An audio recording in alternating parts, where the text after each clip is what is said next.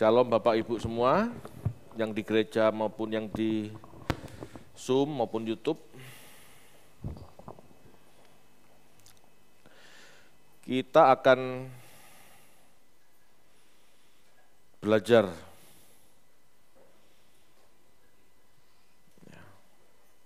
dari Salomo ya. Salomo anaknya Raja Daud. Ya, ini orang terkenal. Orang ngetop. Ya. Banyak diagung-agungkan oleh gereja sebagai orang yang berhikmat, kaya raya.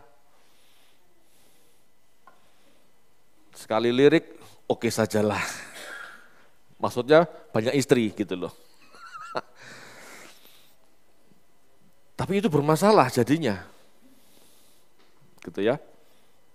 Itu bermasalah.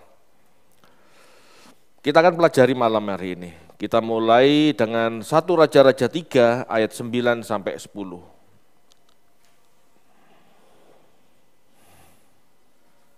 Satu Raja-Raja 3 ayat 9 dan 10. Maka berikanlah kepada hambamu ini hati yang faham menimbang perkara untuk menghakimi umatmu dengan dapat membedakan antara yang baik dan yang jahat, sebab siapakah yang sanggup menghakimi umatmu yang sangat besar ini?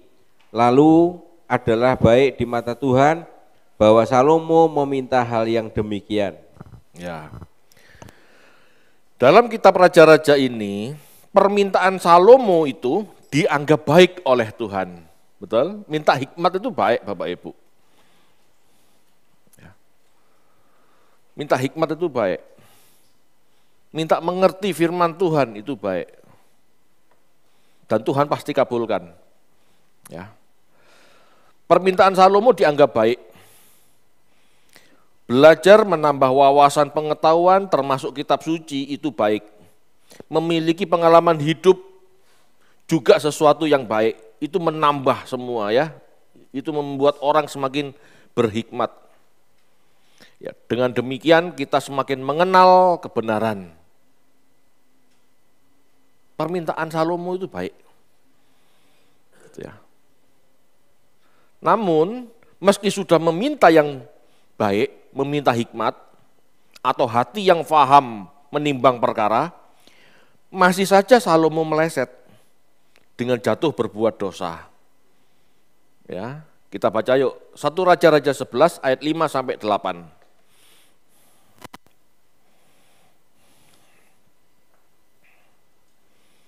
Satu Raja-Raja 11 ayat 5 sampai 8.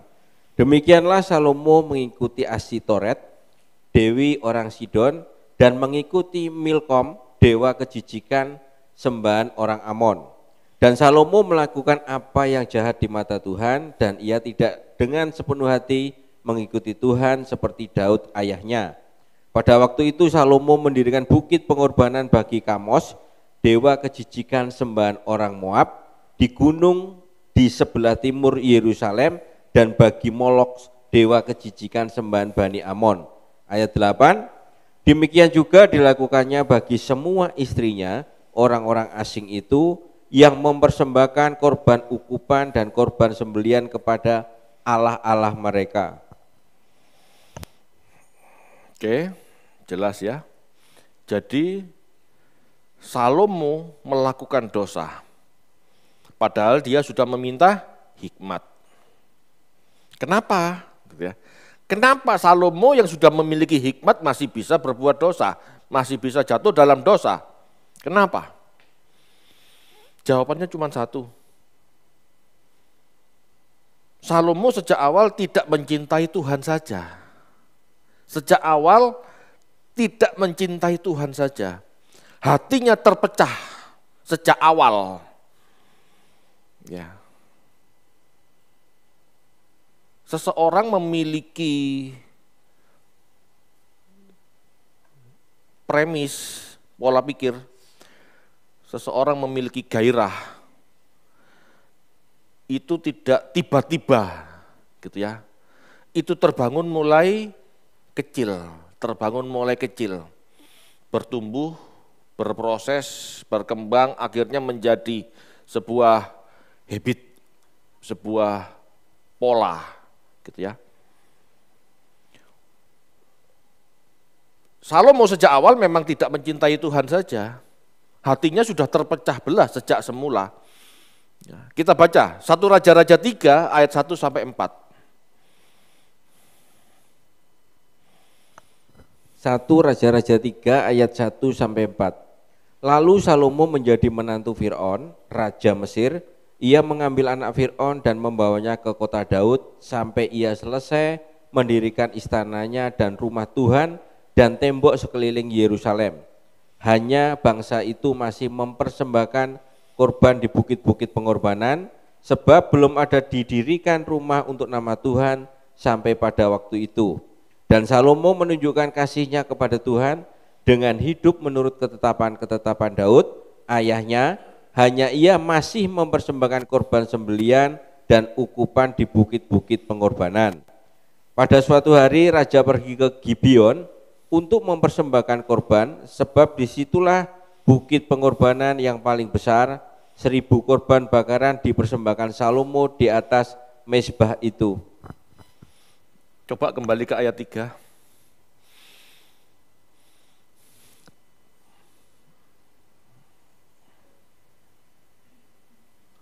Halo, ayat 3. Dan Salomo menunjukkan kasihnya kepada Tuhan dengan hidup menurut ketetapan Daud ayahnya. Hanya ia masih mempersembahkan korban. Ini ayat kan aneh. Tapi dari ayat aneh ini kita bisa lihat bahwa Salomo selain mengasihi Tuhan juga mengasihi dewa-dewa lain, iya kan?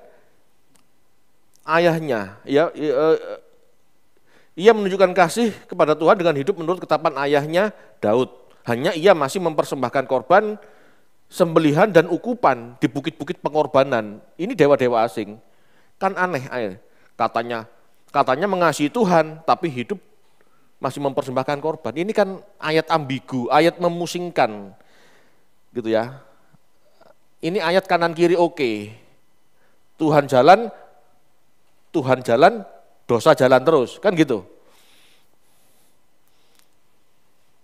Bapak Ibu, kalau seseorang tidak berani memutuskan ya mengabdi pada satu tuan saja, dia tidak akan pernah berhasil hidup kudus.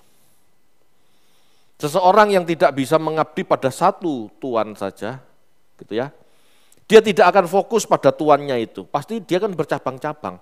Dan pada akhirnya dia akan jatuh kepada dosa.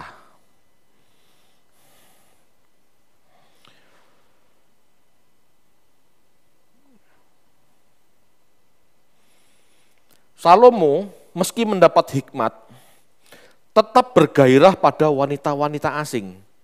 Tadi dikatakan, ya, eh, kita baca aja, satu Raja-Raja 11 ayat 1. Kita akan dalami Salomo. Ini pelajaran penting buat saya, buat kita ya. Silakan. Satu Raja-Raja 11 ayat 1. Adapun Raja Salomo mencintai banyak perempuan asing. Di samping anak Fir'aun, ia mencintai perempuan-perempuan Moab, Amon, Edom, Sidon, dan Het. Wah banyak. Sekali lirik, oke sajalah. Tapi jarang hal ini dibedah toh dalam gereja Kristen. Kenapa? Ya kayak terpesona sama berkat mujizat kaya raya itu.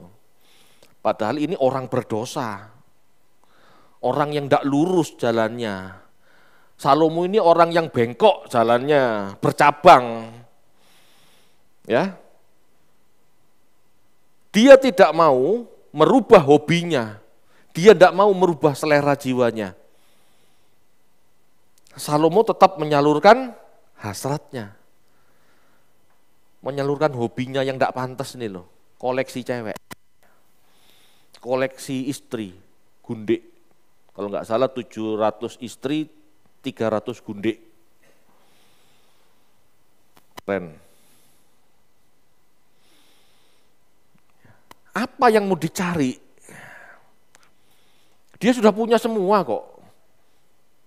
Tetapi kenapa masih mencari cewek lagi, cewek lagi, cewek lagi, cewek lagi? Yaitu hobinya Bapak Ibu. Itu gairah jiwanya, itu seleranya, itu dagingnya. Ya. Tidak mampu merubah gairahnya yang salah. Dia berhikmat, cerdas, bijaksana. Tetapi kebijaksanaan hikmat yang dia miliki tidak mampu merubah gairahnya yang salah. Atau tepatnya Salomo memang tidak bersedia berubah. Karena sudah terlanjur enak. Terlanjur nikmat. Hidup seperti ini sudah nyaman. Hati-hati Bapak Ibu kenyamanan-kenyamanan kita yang tampaknya tidak berdosa itu pun bisa membelenggu kita.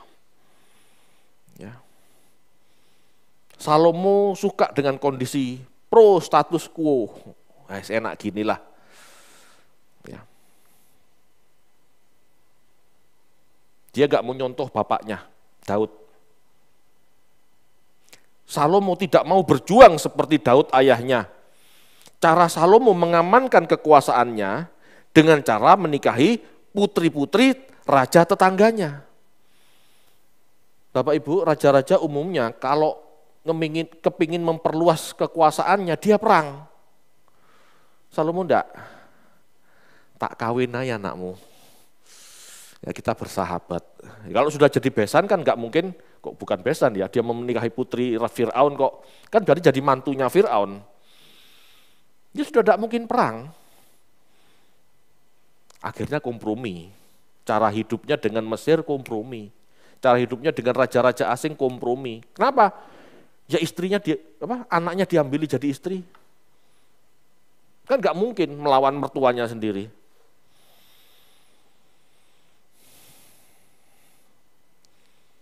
Pilihan Saromo untuk menikahi perempuan-perempuan asing ini cara asik cara aman, cara enak untuk mempertahankan kenyamanannya. Inilah belenggu bagi Salomo.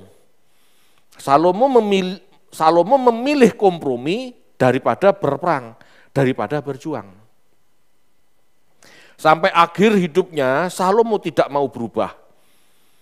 Dikatakan dikatakan oleh firman Tuhan, ia tidak hidup menurut jalan yang ditetapkan Allah. Dan akhirnya Allah menjadi musuhnya Salomo.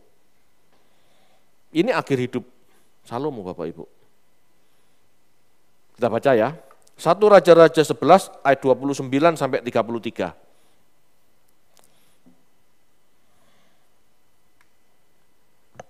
Satu Raja-Raja 11 ayat 29 sampai 33.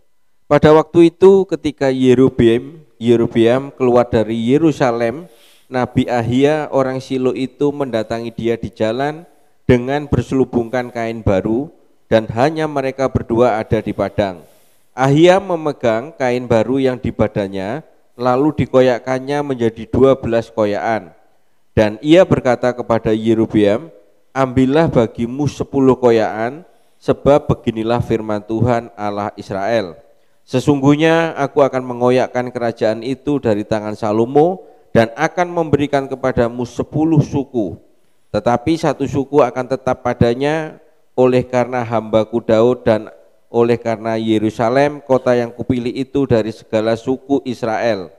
Sebab sebabnya ialah karena ia telah meninggalkan aku dan sujud menyembah kepada Asitoret Dewi orang Sidon kepada Kamos Allah orang Moab dan kepada Milkom Allah Bani Amon dan ia tidak hidup menurut jalan yang kutunjukkan dengan melakukan apa yang benar di mataku dan dengan tetap mengikuti segala ketetapan dan peraturanku seperti Daud ayahnya. Tahan dulu. Ia tidak hidup menurut jalan yang kutunjukkan dengan melakukan apa yang benar di mataku. ku besar, ini Allah ya dan tetap mengikuti segala ketetapan dan peraturanku seperti ayahnya Daud. Jelas ya, ini ending hidup Salomo. Jadi pecahnya Israel itu karena kesalahan Salomo. Bahkan dua suku yang tersisa yang masih dalam kekuasaan Salomo dan keturunannya, itu pun karena Allah melihat Daud bapaknya.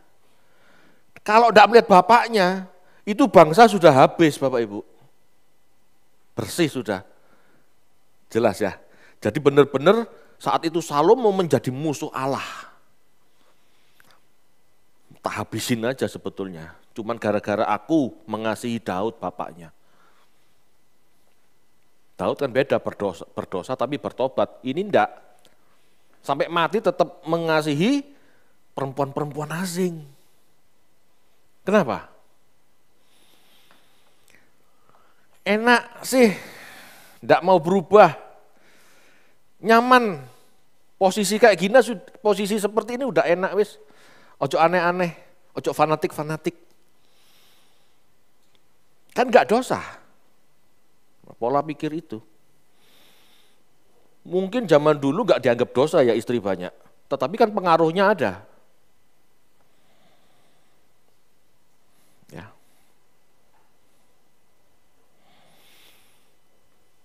Hikmat yang dia miliki tidak mampu merubah Salomo. Jadi dari sini kita bisa ambil bahwa dalam hidup manusia ada kecerdasan, ada gairah. Sepinter apa pun seseorang, tapi kalau tidak bisa mengontrol gairahnya, dia akan hancur.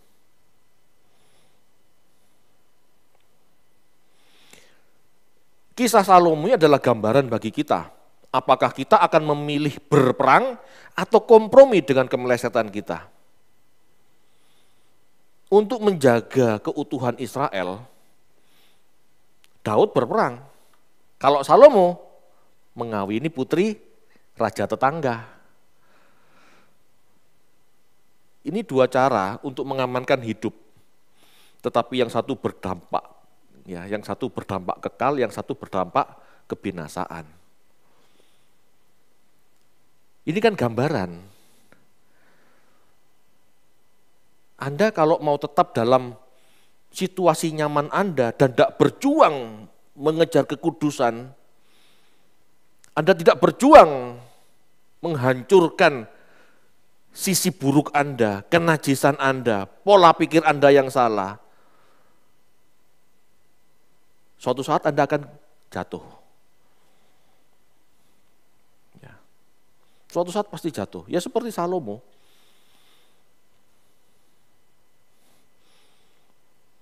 Tuhan jelas mengatakan bahwa kita tidak bisa memiliki dua tuan, sebab pasti tidak akan mampu memuaskan kedua-duanya. Ya, itu di Matius 6 ayat 24. Ada orang-orang yang nyaman dengan sikon hidupnya. Banyak kan? Contoh, ini contoh ekstrim ya.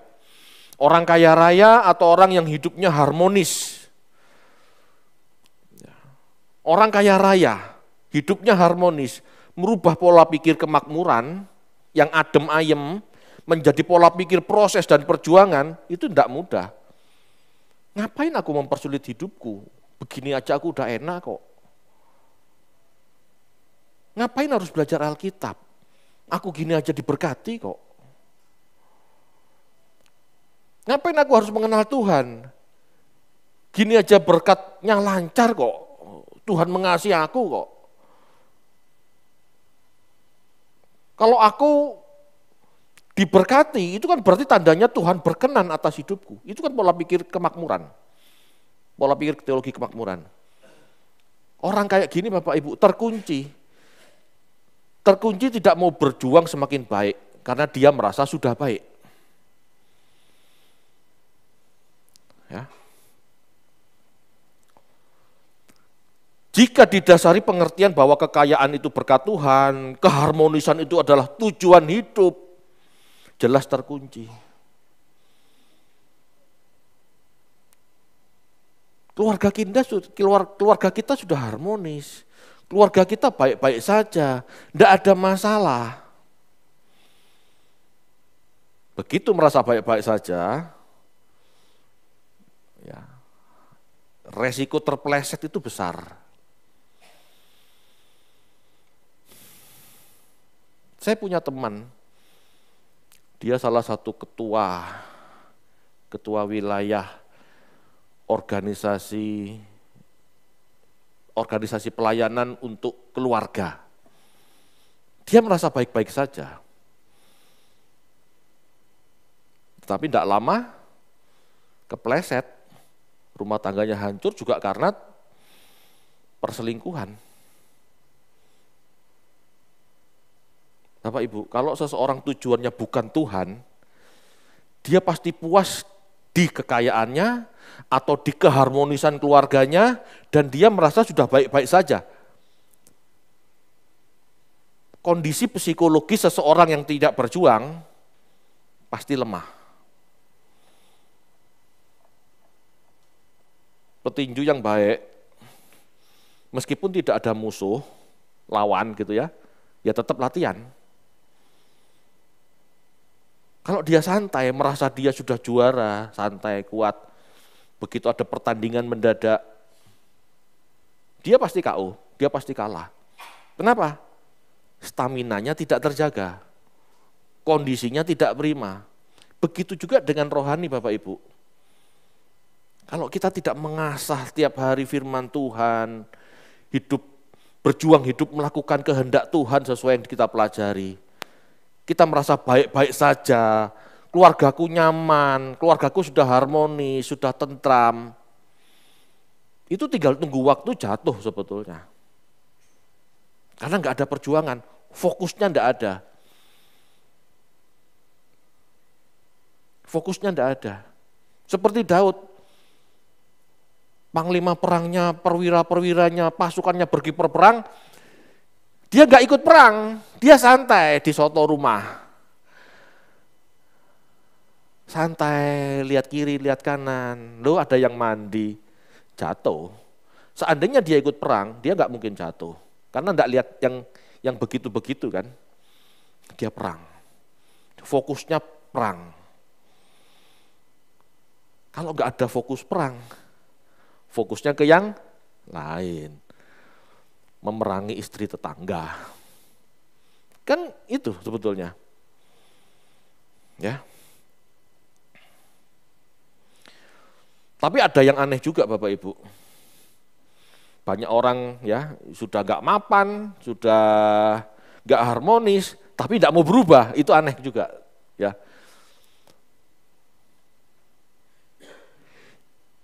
Bapak Ibu, jika Salomo yang berhikmat saja bisa jatuh dalam dosa, apalagi yang tidak berhikmat.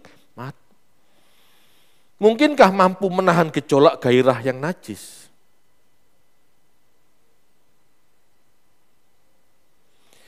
Saya tiap hari belajar firman Tuhan.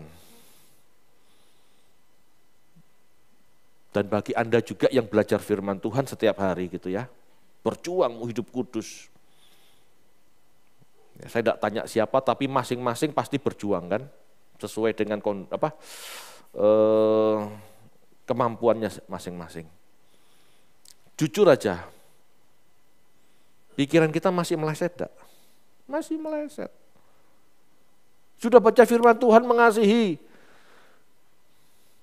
digara-gara orang masih jengkel, betul? Udah belajar hidup kudus, hidup suci, firman Tuhannya jelas ada tayangan yang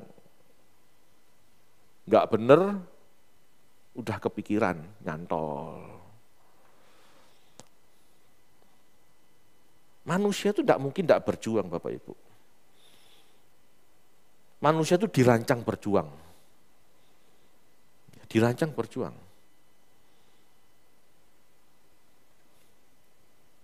Injil dan Roh Kudus adalah kekuatan Allah yang tersedia bagi manusia untuk mewarnai nurani ya.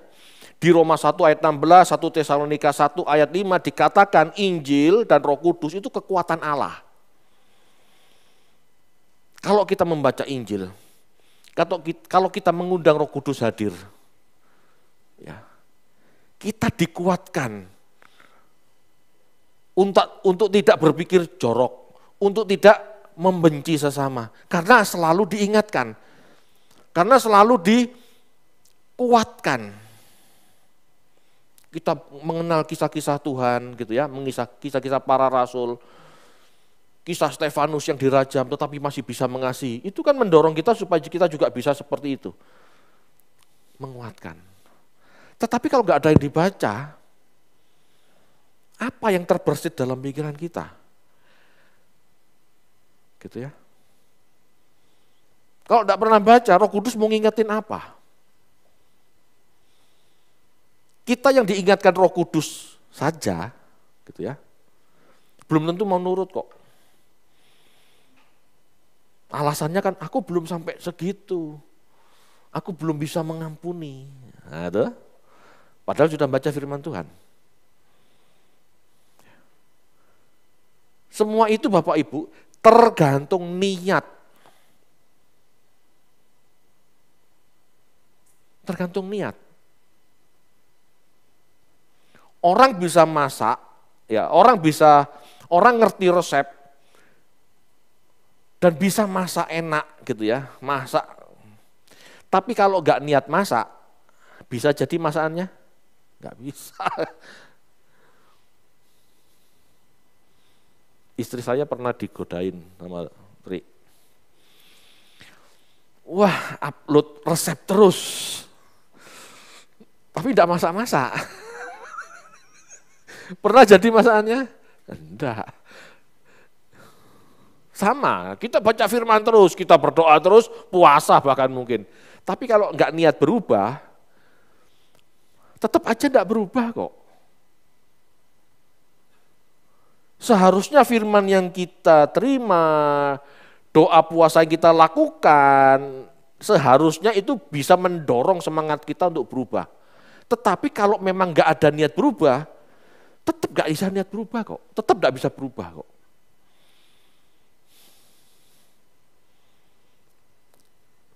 Itulah kehendak bebas. Tuhan sediakan fasilitasnya. Tapi kalau kita nggak memilih berubah, kita tidak akan berubah.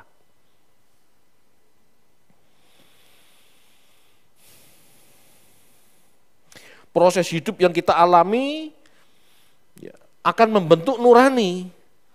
Ya, proses hidup yang kita alami akan membentuk nurani. Jika setiap pilihan yang ada pada kita, kita pilih untuk taat pada firman Tuhan. Ya. Proses hidup, ya kita sudah belajar firman, kita berdoa, kita bergaul dengan Allah gitu ya.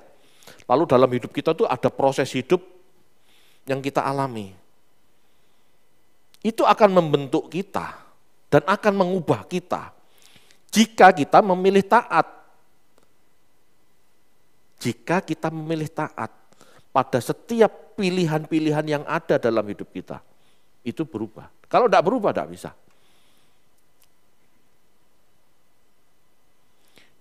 Di sini dibutuhkan kehendak yang kuat untuk memilih apa yang baik dari Tuhan daripada apa yang nyaman dari dunia.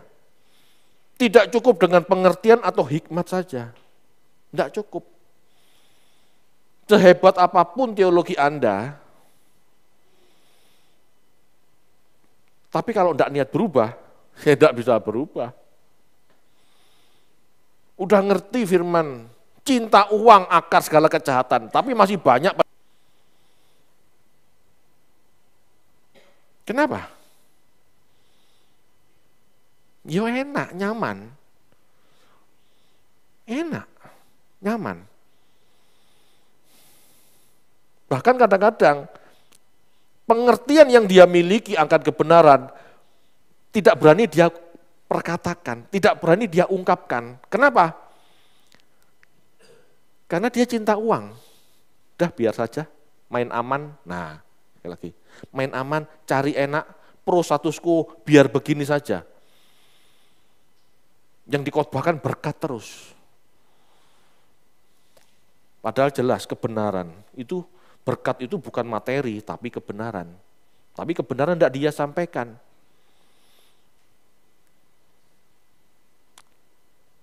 Mengamankan posisinya. Ini bahaya Bapak Ibu. Mengamankan. Ya.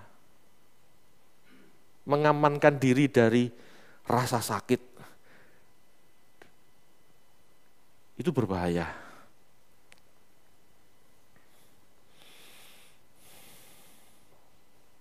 Tuhan sejak awal mula penciptaan selalu menempatkan manusia pada pilihan. Adam dan Hawa ditaruh di, di taman di antara dua pohon. Itu pilihan sebetulnya kan. Di zaman Nuh manusia diperhatikan pilihan percaya adanya air bah atau tidak.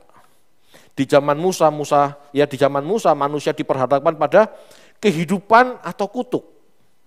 Ya, pilihlah kehidupan atau pilihlah kutuk. Selalu diperhadapkan.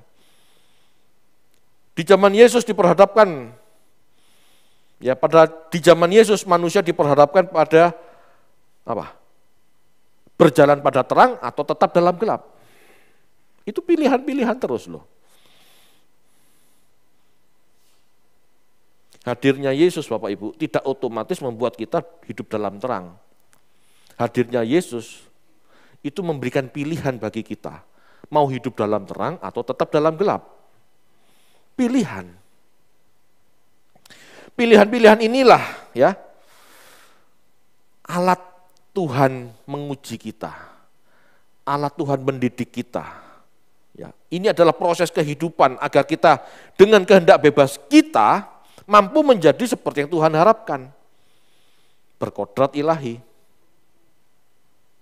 Bapak Ibu, jadi bersyukurlah jika kita selalu diperhadapkan dengan ujian. Bersyukur. Dengan adanya ujian kita bisa memilih tetap di zona nyaman atau berjuang. Memilih A berarti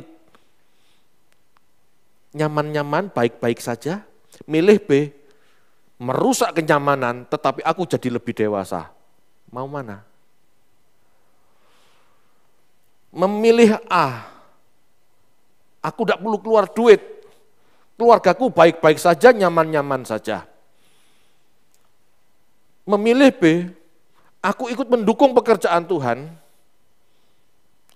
keuangan keluargaku tergoncang. Tapi di situ kita dilatih Tuhan mau mendukung pekerjaan Tuhan, mau mengikis ego kita, mau menyisihkan kepentingan kita demi keselamatan orang lain apa tidak? Ini kan contoh sederhana. Tapi sebetulnya kan banyak di dalam kehidupan kita, kita selalu di persimpangan jalan, pilih A atau B. Pasti pilihannya seperti itu memilih yang baik menurut kita atau memilih yang benar menurut Tuhan? Mana yang kita pilih? Selama kita tidak mau berjuang memilih yang benar, ya, kalau kita tidak mau berjuang memilih yang benar dengan resiko tidak nyaman, kita nggak akan pernah dewasa, Bapak Ibu. Nggak akan pernah dewasa. Karena daging ini selalu minta dipuaskan. Daging ini selalu minta kenyamanan.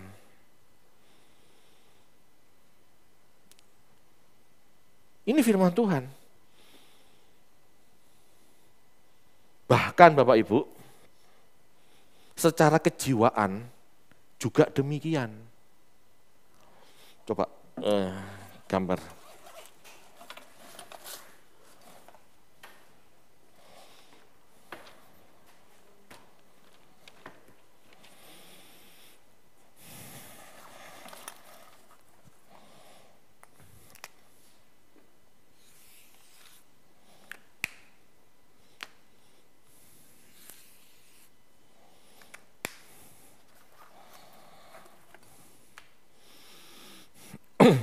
Ini tubuh atau daging, ini roh. Ini jiwa kita. Jiwa ya. Berarti kesadaran.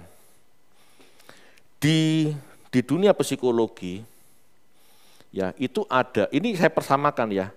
Ini ada ide, ini ego, ini super ego. Ide ini selalu minta dipuaskan, kenikmatan, pleasant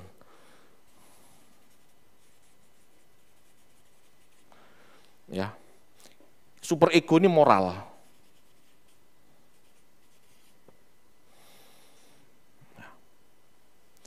Kita mau menjadi yang mana, tergantung kita memilih kenikmatan atau memilih moral, itu pasti pilihan. Kita mau menjadi berkodrat ilahi berarti super egonya yang harus dituruti. Ini berdampak apa? Kita kehilangan kenikmatan.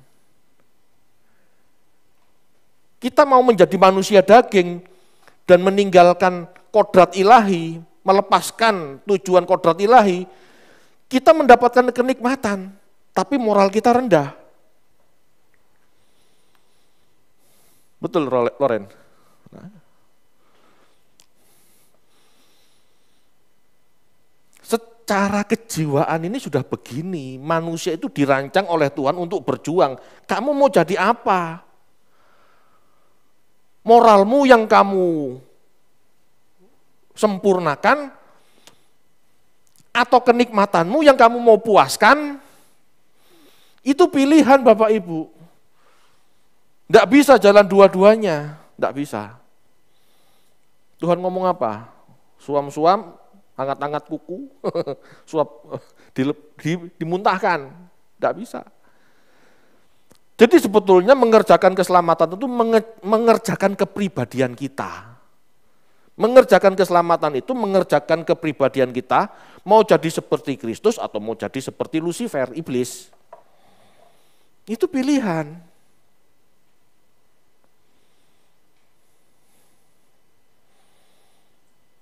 hidup dalam roh, ya berarti hidup dalam moral yang unggul seperti Kristus. Otomatis Bapak Ibu, itu otomatis melepaskan segala kenikmatan. Memilih kenikmatan, otomatis Bapak Ibu, Anda semakin memilih kenikmatan, Anda semakin tidak bermoral. Lihat, orang semakin kaya, mengeruk kekayaan untuk dirinya sendiri, semakin tidak ingat orang lain.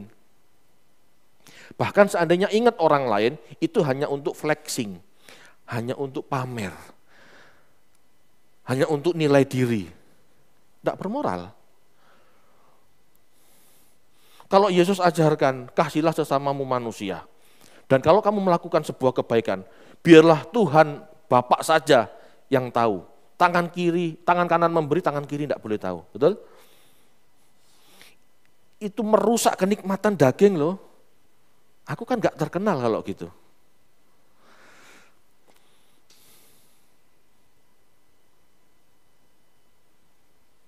Aku kan tidak tidak bisa membanggakan diri. Kenikmatannya dirusak. Tapi orang seperti itulah yang berkenan di hadapan Allah. Tapi kalau orang meskipun berbuat baik tapi pamer gitu ya, pamer, egonya dipuaskan. Dia merasa nyaman. Tetapi super egonya atau moralnya rendah. Di hadapan Allah rendah. Kenapa? Lah niatnya pamer kok. Gak mau jadi seperti Tuhan, gak mau jadi seperti Kristus.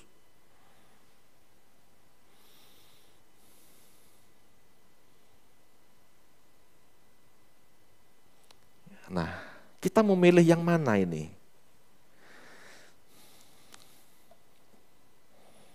Ini luar biasa. Saya nggak tahu apa idenya Sigmund Freud ini ikut Alkitab atau enggak, tapi inilah kenyataannya. Dia seorang Yahudi, ya kemungkinan tahulah. Bapak Ibu hidup ini pilihan, Apalagi kalau sudah prinsipnya urip sepisan kok susah. Nah, sudah, sudah lewat itu. Yang namanya Anda mau bermoral Kristus lupakan sudah. Apalagi kalau pola, pola pikirnya seperti itu. Hidup sepisan kok susah. Dinikmati saja yang enak-enak. Udah, itu alamat binasa sebetulnya.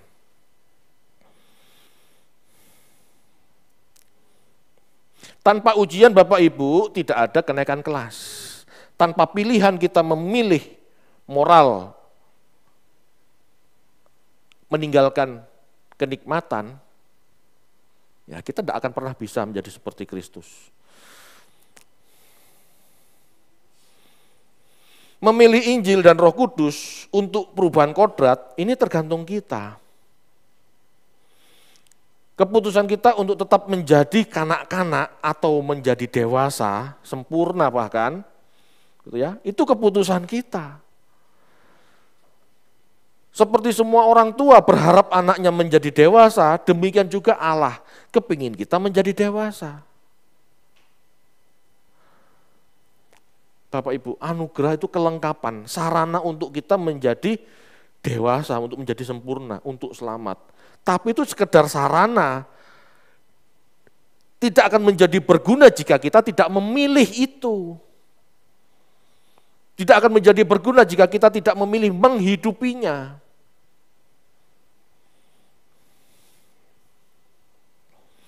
Jika kita memilih gairah dunia yang nyaman, kita akan menjadi musuh Allah. Jika kita memilih gairah dunia yang nyaman, kita akan menjadi musuh Allah, mendukakan hati Allah. Ya. Sebaliknya jika kita menolak dunia, maka kita menjadi sahabat Allah, dibanggakan oleh Allah. Firman Tuhannya kan gitu, jelas begitu. Yakobus 4 ayat 4 sampai 5, ya supaya tidak lupa.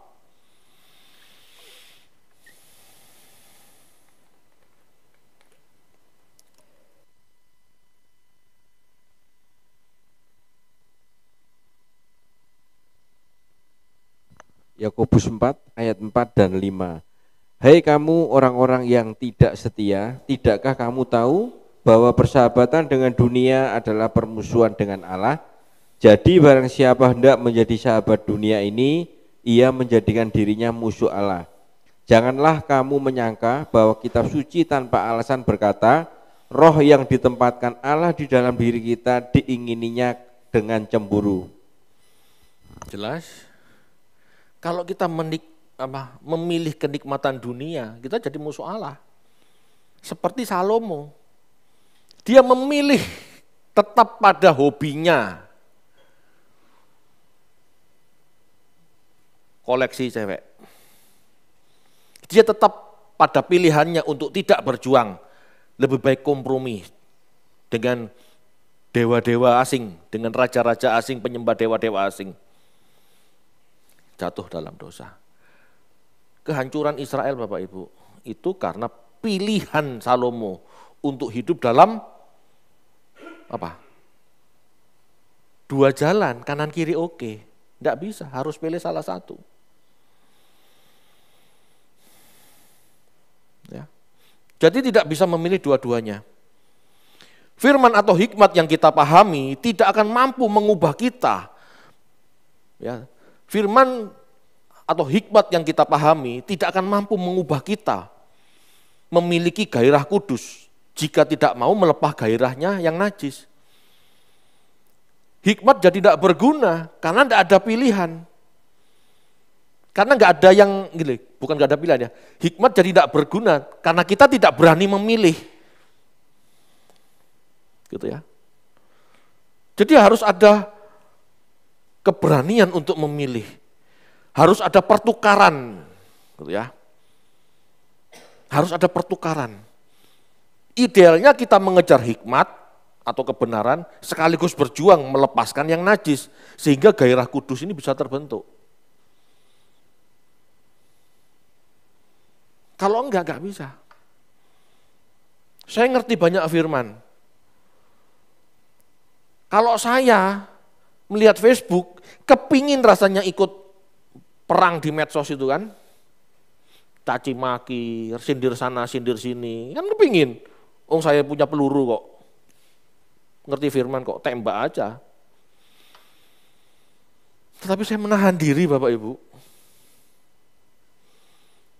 Firman yang saya pahami untuk saya kenakan dan untuk merubah saya. Lah kalau saya ikut-ikutan nembak, ikut-ikutan perang, saya nggak jadi kudus malah muncul kebencian tambah jengkel sama pihak sebelah. Kan gitu. Apa artinya? Saya punya kebenaran firman, tapi saya mengotori batin saya. Itu yang harus saya eliminasi, itu harus saya potong. Tidak ada fungsinya pengertian firman yang banyak kalau kita tidak berani memotong pemelesetan kita, gak berani memotong gairah kita, tidak ada gunanya.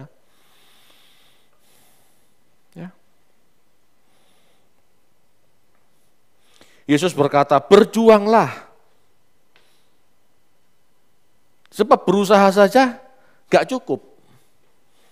Berjuang itu ada pertaruhan. Gregetan gitu ya. Ya ditahan. Waduh Pak saya senewan sama orang itu Pak. Ya ditahan. Jangan, jangan. Merubah kebiasaan itu tidak mudah. Ada orang yang ngomong, kalau kamu mau merubah kebiasaan, tunggu 21 hari. Ada yang ngomong, tunggu 30 hari dalam 30 hari itu harus benar-benar ditahan, dimpet. Mungkin ada ada istilah gini, sakau gitu ya. Orang yang terbiasa narkoba, tidak makan narkoba pasti sakau. Betul ya? Tetapi kalau dia bisa melewati masa sakau, dia bisa lepas dari narkoba. Jangankan narkoba, melepas kebiasaan makan nasi itu lo repot. Iya kan? Haleluya. Iya. ya gimana wong sekelilingnya makan nasi? Lalu kita tidak makan nasi. Waduh, lain loh. lain memang Bapak Ibu. Lukas 13 ayat 24. Ayo dibaca yuk.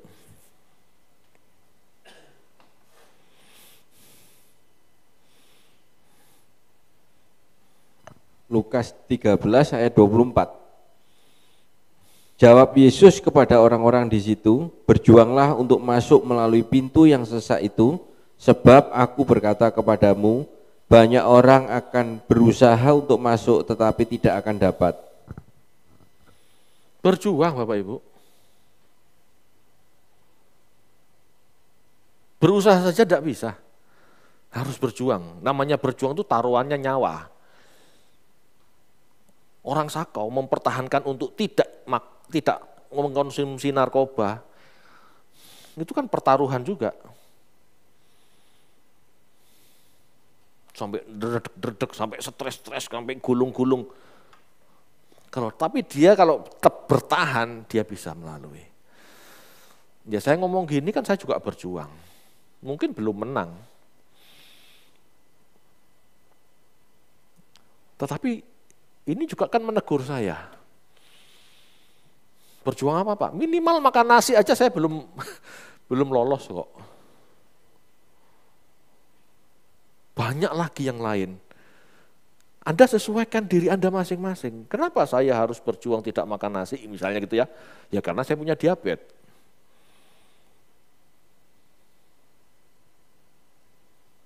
Itu kan perjuangannya. Anda punya kelemahan apa? Jangan merasa nyaman di situ Bapak Ibu. Berjuanglah untuk lepas dari posisi itu. Kerjakan keselamatanmu. Allah yang memberi kekuatan. Ya, jadi ada sinergi. Kita mengerti firman dan kita memilih mengerjakan. Baru Tuhan kasih kekuatan. Kalau tidak, tidak bisa. Kita yang mengerjakan, memilih untuk mengerjakan. Allah yang menolong kita. Kualitas demut, kualitas keserupaan itu harus dikerjakan manusia sendiri sebagai bentuk kebebasan yang diberikan. Ya, sebagai bentuk kebebasan yang diberikan Tuhan kepada manusia untuk memilih apa yang jahat dan untuk memilih apa yang baik. Pilih. Hidup itu pilihan. Mau berkenan atau menjadi pemberontak? Pilihan. Sesungguhnya kita disebut memiliki kodrat ilahi jika kita ini bisa memilih ya dalam berpikir, dalam bersikap selalu seiring dengan sifat Allah yaitu kekudusan. Itu sih sebenarnya kodrat ilahi itu itu.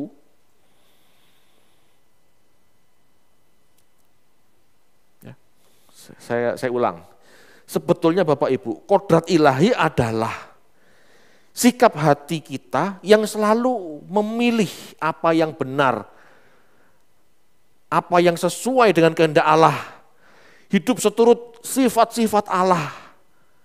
Pilihan kita untuk itulah itu kodrat ilahi. Ya. Memang nggak langsung titik, tapi kan progresif. Tetapi jika kita selalu diperhadapkan dan selalu memilih yang baik, yang benar sesuai kehendak Tuhan itu kodrat ilahi. Jadi kodrat ilahi itu juga tidak mistis. Kodrat ilahi itu tidak mistis, itu pilihan kita kok. Jadi keilahian manusia itu karena manusia itu selalu memilih hidup untuk menyenangkan Allah, itu ilahinya. Yesus itu ilahi karena dia mampu dalam setiap pilihan hidupnya, dia mampu menyenangkan Allah, itu ilahi. Keilahian Yesus bukan karena mujizat. Mujizat itu dikerjakan roh kudus. Ya. Kisah para Rasul 10 ayat 38 itu jelas mengatakan itu. Tapi keilahian Yesus itu ya, keilahian Yesus itu dilihat dari moralnya.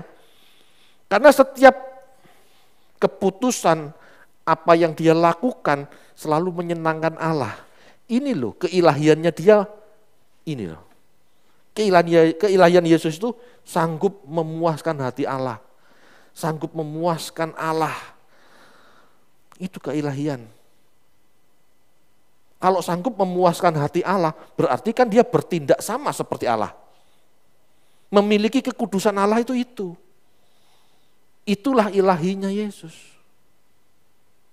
Ini pilihan. Yesus memilih untuk taat, Bapak Ibu. Bapak Ibu jangan berpikir Yesus tidak bergumul. Di bukit dia berdoa sampai berpeluh. Hampir gagal. Bahkan, bahkan, mungkin yang Anda tahu, yang Anda kenal itu.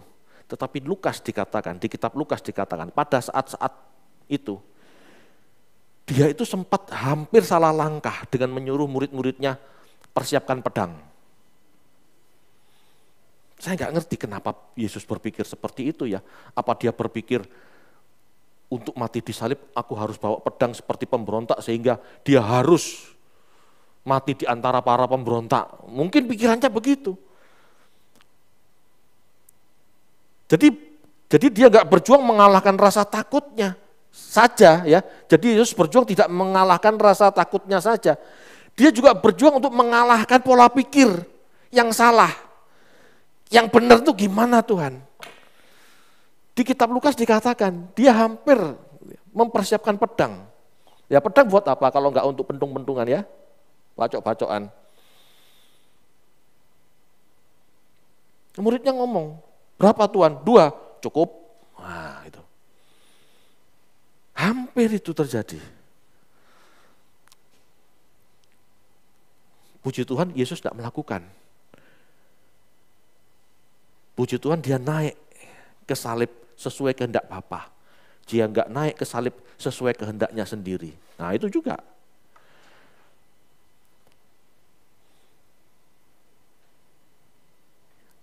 Ketaatan sama Tuhan tuh sampai pada titik presisi seperti itu loh.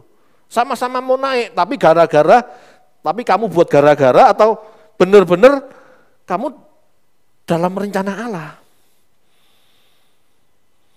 Bayangkan kalau Yesus bawa pedang. Dia disalib tetap. Tapi apa bisa disebut dia tidak berdosa? Apa bisa dia disebut sebagai penebus? Karena disalib,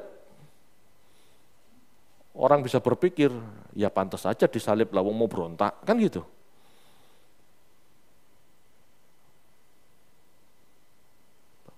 Bapak Ibu, hikmat penting dan perlu diperjuangkan. Kalau Yesus tidak punya hikmat, Yesus bisa salah langkah dengan mempersiapkan pedang. Tetapi jika dia tidak memutuskan gitu ya, untuk tetap berdoa sampai berpeluh dan bertahan tidak tidak sesuka sendiri gitu ya. Dia berserah sama apa yang akan terjadi yang Tuhan tetapkan baginya. Kita bisa memenuhi kehendak Allah. Ya. Ini tidak mudah loh Bapak Ibu. Ini berat loh. Ya. Ini harus kepekaan tingkat tinggi.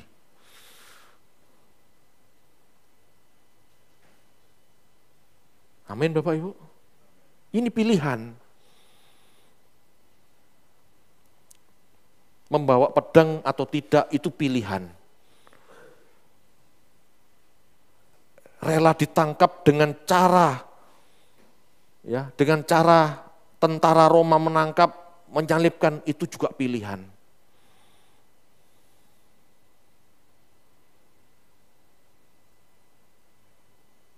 Yesus mau menjadi Mesias model apa, itu kan pilihan. Kalau dia bawa pedang, mungkin mungkin dia akan jadi Mesias versi Yahudi, pemimpin pemberontak. Tapi Yesus tidak milih itu. Yesus merelakan ditangkap tanpa perlawanan dan dia menjadi penebus dosa. Dia memilih Mesias versi itu lah paket kita apa? Perkarakan. Jangan sesuka sendiri. Ya, itu pilihan. Memilih. Tuhan apa kehendakmu? Pilih yang sesuai kehendak Tuhan. Jangan pilih yang se, yang memuaskan diri sendiri. Pilih yang sesuai kehendak Tuhan, yang yang paling sempurna. Apa kehendakmu? Sulit Pak kalau gitu Pak. Ya memang sulit. Hadiahnya bukan rantang kok. Ya sekali lagi saya ingatkan, hadiahnya itu kemuliaan Bapak Ibu. Dimuliakan bersama Kristus, bersama Tuhan kita. Inaugurasinya itu. Mempelai pria dipersandingkan dengan mempelai wanita, gereja, yaitu orang-orang yang mau seperti dia. Wah ini luar biasa. Ini bukan kaleng-kaleng, kan gitu. Itu pilihannya tidak mudah. Jadi kalau dalam hidup kita tidak serius memperkarakan, aku memilih yang terbaik, aku memilih yang sesuai kehendak Tuhan, Anda tidak bisa. Sebetulnya hidup ini kan untuk itu. Bukan untuk sukses karir, bukan untuk kaya raya, bukan. Bukan itu. Bukan nggak boleh sukses, bukan nggak boleh kaya ya. Kalau memang Tuhan berkati silahkan. Tapi fokus kita dulu memilih yang tepat, memilih yang paling sesuai kehendak Tuhan bagi hidup kita masing-masing. Itu ya sulit. Itu pilihan. Pilihan itu sudah sulit, masih harus diperjuangkan. Amin Bapak Ibu. Enggak bisa kok enggak berdarah-darah jadi orang Kristen, enggak bisa. Kalau mau serius ya, kalau mau asal KTP Pak Kristen enggak masa, ya terserah Anda. Ya. Semua pilihan. Amin. Ayo